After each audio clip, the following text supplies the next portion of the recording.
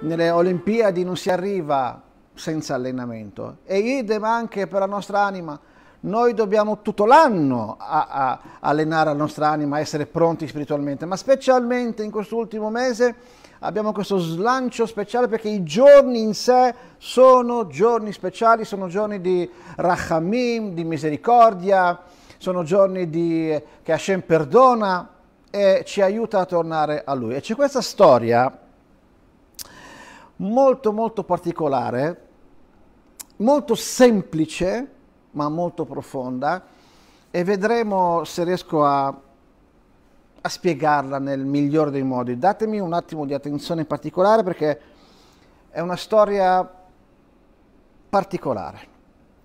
Il Baal Shem Tov, il grande Baal Shem Tov, il fondatore del Hasidismo, un grande tzaddik del passato, lui quando pregava, pregava molto a lungo, pregava con tanta concentrazione, e lui quando pregava arrivava, le sue preghiere arrivavano in cielo, lui vedeva da un posto all'altro del mondo, era un tzaddik proprio di un'altra generazione. Ecco, quando, ogni volta che lui pregava, c'era un alcolizzato che andava sempre ad ascoltare le sue preghiere. Lui pregava a lungo, concentrato, e questo alcolizzato non se ne perdeva una.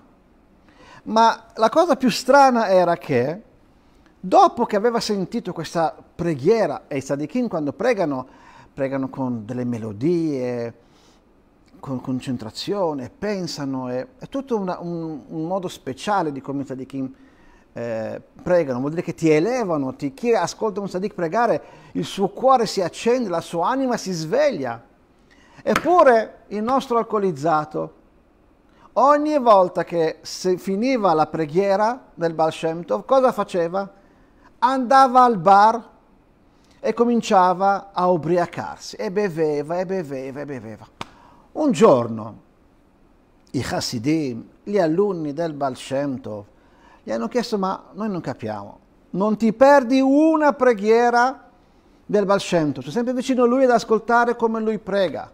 Ma possibile che dopo che hai finito di, di sentire questa preghiera, anziché essere, diciamo, emozionato, elevato, anziché andare a studiare qualche pagina di Torah, fare qualche mitzvah, pregare magari tu stesso, no? Cosa fai? Prendi questa grande elevazione e la butti nell'alcolismo, vai a ubriacarti, ma non ti sembra una cosa fuori luogo? Perché usi questa grande forza spirituale per poi andare a, ubriacarti? E allora il nostro caro alcol- alcolizzato risponde, guardate, è molto semplice. Dice, tutti noi abbiamo delle passioni, un qualcosa che veramente teniamo a cuore. Però a volte queste passioni dopo poco si spengono, anche un grande fuoco dopo, dopo un po' si spegne. E dice, la preghiera del Baal Shem Tov, dice l'ubriaco, è così profonda che lui riesce a toccare l'infinito. Lui riesce ad arrivare dove nessuno può arrivare. E quando finalmente, dopo aver ascoltato la sua preghiera che arriva all'infinito, che tocca tutti i mondi, tutti i cieli, e io dopo, subito dopo, vado subito a bere e ubriacarmi, Ah, allora sì che ho un vero piacere di riuscire a ubriacarmi. Perché? Perché l'ho fatto dopo una, che ho sentito una preghiera del Baal Shem Tov. Ecco, non è semplice capire questa storia. Cercherò, perché forse anch'io non l'ho neanche capita. Questa storia ci fa vedere come questa persona qua ha capito tutto ma in realtà non ha capito proprio niente. Ha capito tutto perché riesce a valorizzare la preghiera di un tzaddik, la preghiera del Baal. Capisce che la sua preghiera è tocca l'infinito, è una cosa solida che rimane, ti dà sicurezza, continuità. Ma d'altra parte lui non ha capito niente, perché continua a essere schiavo delle sue dipendenze. in questo caso l'alcol. Ecco, questa storia può dare a tutti noi un insegnamento. Tutti noi abbiamo delle dipendenze. C'è chi ha l'alcol, c'è chi ha la televisione, c'è chi ha il WhatsApp, c'è chi ha Facebook. Ognuno di noi ha qualcosa che proprio ci rende schiavi, ci rende dipendenti. Non riusciamo più a vivere senza questa cosa qua.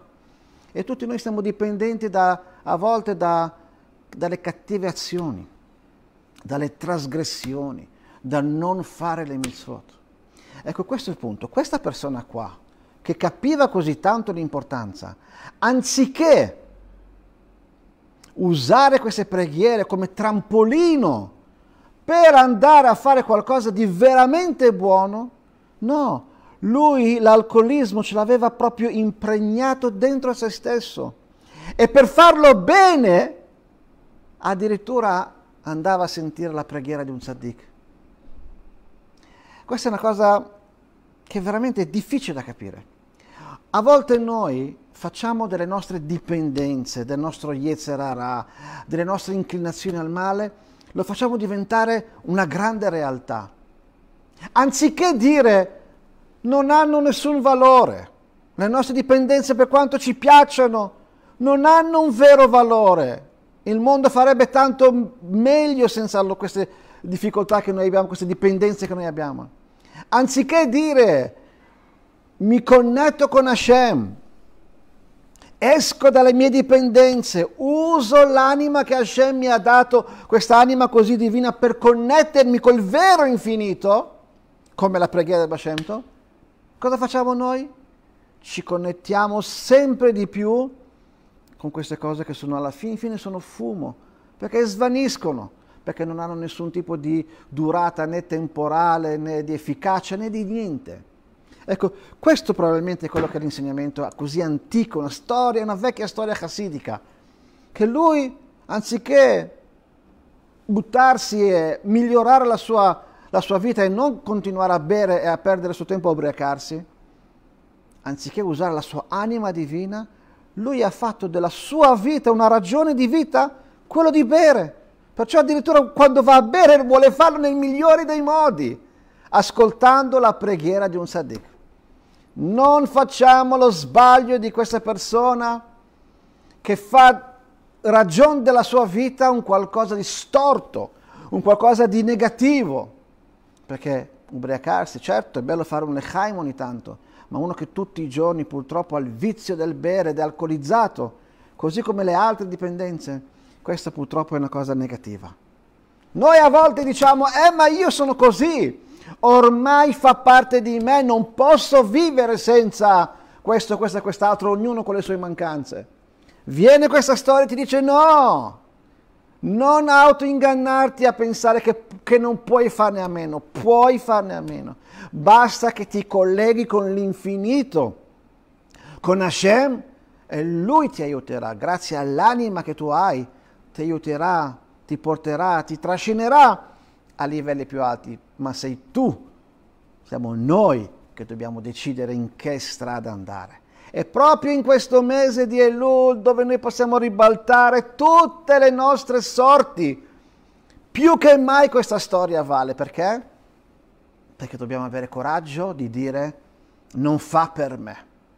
Non sono io, non è la mia vera essenza, perché io devo fare un qualcosa che in realtà non mi rappresenta e io non mi, non mi devo neanche sentire vicino a questa cosa.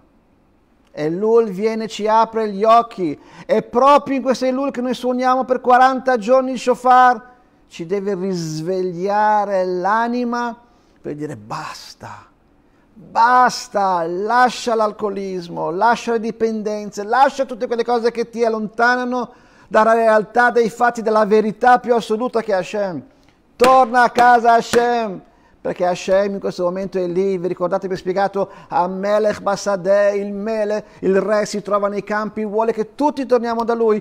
Ed è in questo momento qua, per altri ancora 30 passagiorni, fino a Kippur, Hashem è vicino a noi e ci dice vi tendo le braccia, vi apro le braccia, venite, chiunque vuole venire, io sono qua, sono vostro padre, vi sto aspettando, non vergognatevi, non abbiate paura, qualsiasi cosa abbiate fatto, io vi amo e vi voglio aiutare a tornare alla vostra vera essenza. E quando torneremo tutti alla nostra vera essenza, riusciremo veramente a connetterci con Hashem. C'è un'altra storia che volevo raccontare. Questa volta non è una storia chassidica, ma è una storia che ha raccontato tantissimi anni fa il capo rabbino Israele dell'epoca, Rav Ovadia Yosef. Chi lo conosce sa che era un genio della Torah, capo rabbino sefaradita. E lui racconta questa storia qua, un aneddoto. E dice così, c'erano due paesi che erano sempre molto amici, i due re andavano d'accordo, tutto a posto, eh, le frontiere erano aperte, avevano commercio, vendevano, compravano, tutto andava bene. C'era soltanto però un cimitero unico per tutte le due città, per tutti e due i paesi. Perciò se moriva da un altro paese, dal paese accanto, andavano a seppellirlo nell'altro paese.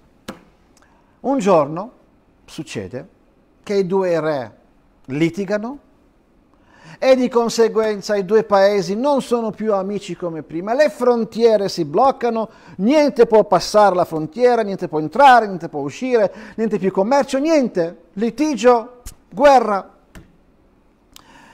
Visto che il cimitero era unico, l'Humanitas o la, la UN sono riusciti a mettere d'accordo che almeno diano il permesso soltanto di fare un funerale, che dieci persone possono venire da, dall'altro paese a seppellire il morto, tornare indietro, almeno questo per umanità. E così era.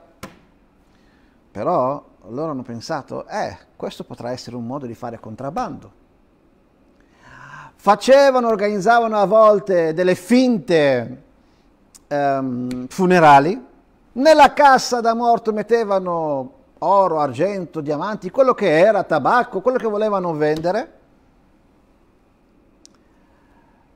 passavano la frontiera, dieci persone, andavano, facevano finta di seppellire, però poi andavano nel mercato nero e vendevano e così tutti si arricchivano sempre di più. Un giorno, durante una di queste finte cerimonie dei funerali, la guardia, la guardia di finanza, chiamiamola così, si accorge che sono tutti indifferenti. Nessuno che piange, nessuno che urla, né una lacrima, niente. Lì viene il dubbio, dice apritemi la cassa. Oh, quando lui dice apritemi la cassa, voglio controllare quello che c'è dentro, non mi fido di voi, tutti cominciano a piangere. Allora la guardia dice, ah, vedete? Se voi aveste pianto prima, non avrete bisogno di piangere adesso. Dovete piangere così non, non, non mi svegliavate, non mi, non mi curiosite. Se piangevate, non piangevate adesso. Cosa vuol dire questo? Il punto è che se una persona tutto l'anno si dà da fare, tutto l'anno piange, nel senso fatica, fa quello che devi fare, le mitzvot, il suo studio e questo e quest'altro, allora se piangi prima non hai bisogno di piangere dopo, che Dio viene e ti dice ah ti manca questo e quest'altro. Nella vita bisogna darsi da fare tutto l'anno. Però, però, nonostante che è giusto darsi da fare tutto l'anno e non soltanto arrivare a piangere a Rosh Hashanah Kippur, ah, non ci ho pensato, ma Hashem è così misericordioso con noi, che anche se noi ci svegliamo soltanto gli ultimi giorni, gli ultimi momenti, l'ultimo mese, gli ultimi 40 giorni dell'anno, l'anno è fatto da 365 giorni, se noi in questi ultimi 40 giorni cominciamo a darci da fare, e riprenderci la nostra vita in mano perché riusciamo a farlo. Allora, dice, nonostante che tutto l'anno magari abbiamo un po' dimenticato le cose giuste da fare, ma come ogni cosa, anche all'ultimo istante tutto si può ribaltare. E veramente è questo quello che dobbiamo fare, dobbiamo promettere a noi stessi che quest'anno che arriva 5782 sia l'anno mai esistito un anno così buono, così pieno di benedizioni per tutti noi. Quando una persona è morta, tra l'altro nei campi, vuol dire lontano dalla città dove c'è il tempio, la sinagoga, lo studio, quando qualcuno muore spiritualmente, no? spiritualmente parlando adesso, quando c'è qualcuno che si è allontanato dalla, dalla Torah, dalla verità, non possiamo dire, eh, te la sei cercata, affari tuoi, tu hai voluto scegliere questa vita, hai voluto essere dipendente dalle tue dipendenze. No, dice la Torah, non puoi assolutamente fare questo, questo discorso. Perché? Perché siamo tutti responsabili l'uno dell'altro. E nessuno può dire hai sbagliato affari tuoi. Quando noi vediamo che qualcuno sta sbagliando, sta andando nella direzione sbagliata, dobbiamo preoccuparci per lui, proprio adesso che siamo in Lul. Non dobbiamo dire io sono a posto, io la mia vita la conduco bene, no. Una persona che è timorosa di Hashem, che segue la parola di Hashem, deve in tutte le situazioni preoccuparsi anche del prossimo. Quando vediamo che un prossimo sta sbagliando, o poco o tanto, ricordiamoci che noi siamo responsabili perché lui non vede il pericolo, perché quando sei dentro qualcosa non riesci a vedere il pericolo, perché sei troppo impregnato ormai in quella cosa lì.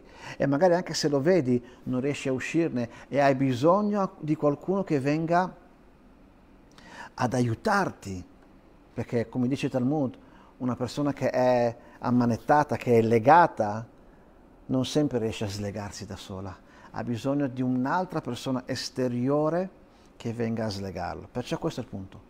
Quando vediamo qualcuno che è impregnato in qualcosa e questo qualcosa lo sta trascinando come le sabbie mobili, non possiamo alzare le mani e dire non mi avvicino a far tuo. No. La prima cosa che una persona timorosa di Dio deve fare è pensare al prossimo quando noi ci adoperiamo per aiutare che il prossimo abbia una vita dignitosa, una vita spiritualmente migliore, allora Hashem aiuterà anche noi. Dobbiamo cominciare a vedere che nessuno sbagli, che nessuno esca dalla strada giusta, a cominciare da noi stessi. E poi, una volta che ci siamo rafforzati, dobbiamo preoccuparci anche degli altri. Questa sera la lezione era breve, era molto semplice, però piuttosto di non farla, Baruch Hashem, l'internet ha funzionato, grazie a Dio, non, dobbiamo, non abbiamo dovuto penare per, eh, per difficoltà, possa Hashem veramente aiutare tutti, tutti noi ad entrare in introspezione in questi giorni speciali. Ricordiamoci quando il re, finite le feste, quando il re torna a casa sua, nel suo palazzo reale, quando Hashem torna a casa, sarà poi più difficile andare da lui e cercarlo e fate shuvah. Cerchiamolo adesso, adesso che lui è con noi, è vicino a noi e lui è propenso anche a aiutarci e a perdonarci. Carpe diem, più che mai adesso è il momento giusto per prendere la nostra vita in mano. Shabbat shalom a tutti e Bezrat Hashem che potremo presto presto rincontrarci con Hashem come nei campi, insieme a Mashiach Tzidkenu, a suonare il vero, vero shofar. Amen, Kenya e Razzon. Shabbat Shalom a tutti.